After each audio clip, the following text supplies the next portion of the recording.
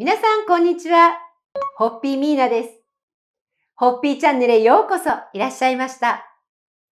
今日ご紹介するノンアルコールホッピーカクテルは、ホッピーとパイナップルジュースを使ったその名もビーチ。簡単ペアリングおつまみはグリルチーズサンドです。それではどうぞご覧ください。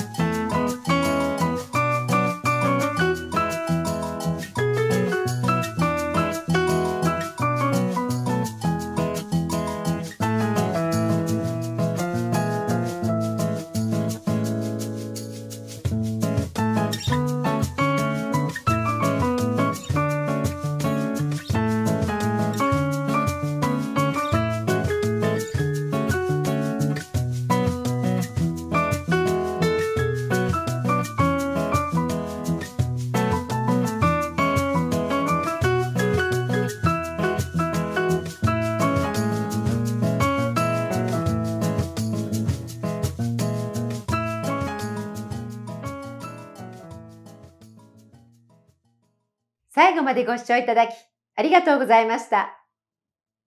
いかがでしたか？今日のレシピは台湾のショートフィルム父、息子、そしてビーチからインスパイアされ生まれました。